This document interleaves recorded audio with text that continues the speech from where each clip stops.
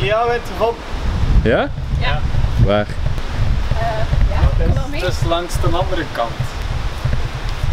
Je kunt daar binnen. Ja, dat is zo'n deur. Vies. En die gaan gewoon open en dicht. Ja. Dan gaan we binnen, hè. Ja, wat is dat?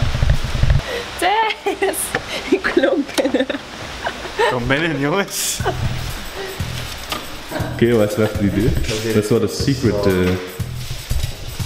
Doe dat? uitgezonden personeel. Dat zal wel. Het lijkt een lange gang of zo.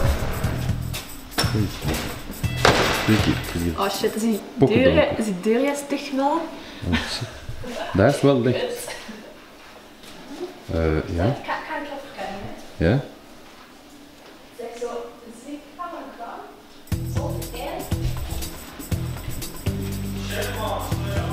Gaan we een keer naar daar? Ja. Ja, heb ik wel licht of zo? Ja, ik even slecht aan steek. Wacht. Oh, ik vind dat wel echt eng. Ga maar, ga maar. Thijs, zeg je hier? Ja, ja, Zo lijkt zo'n spoor. ja. Toen ik? Dat lag daar juist ook. Ik had dat ook al gezien.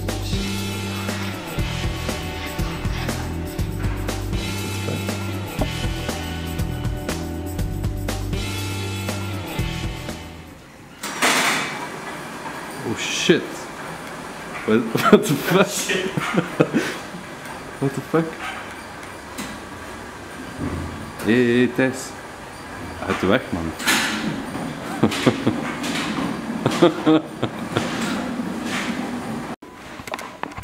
Thijs, wat jij gedaan maakt? Wat is dat hier? Shit. Oh, fuck, fuck. Uh, hij volgt ons.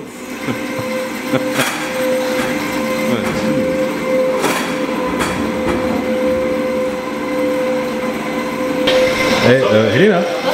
Oppast.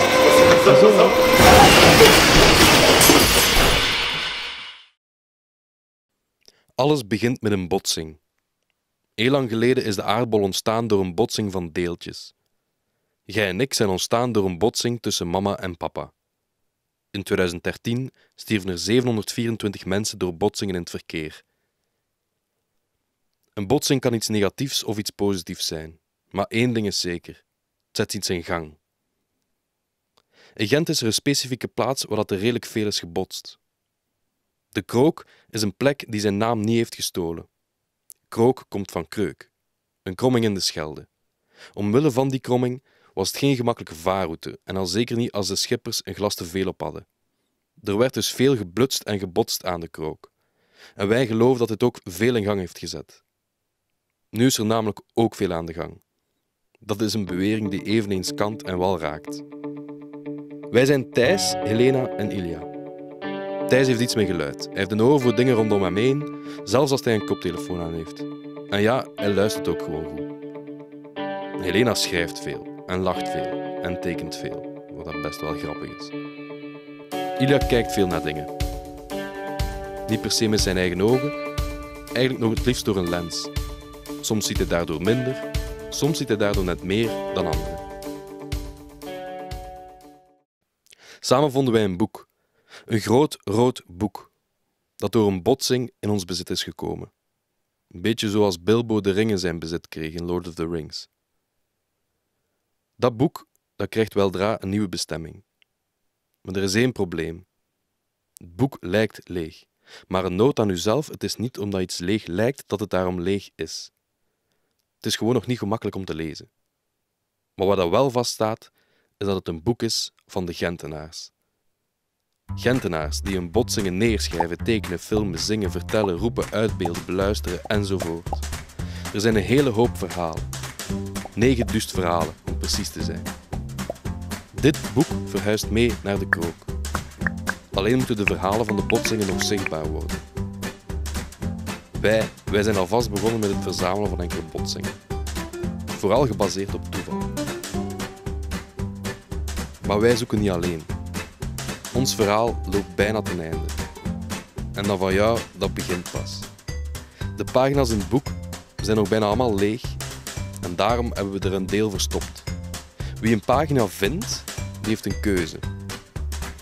Ofwel laat hij de pagina zoals hij is, ofwel deelt hij zijn of haar botsing op de pagina. Dat doet je met de hashtag 9000 botsingen. Alle verhalen worden verzameld. En zo vullen wij een boek met botsingen van alle Gentenaars. Die verhalen krijgen een plaats. Een plaats in het centrum van de botsingen. De krook. Of wat een botsing niet allemaal kan zijn. Ons eerste verhaal is een verhaal over onze eerste botsing. Het is een soort ode. Een ode aan iemand die misschien niet meer terugkeert. Alle verhalen, die van ons en die van jullie, zijn terug te vinden op de verhalenmap van Gent. Die vind je op 9000botsingen.be.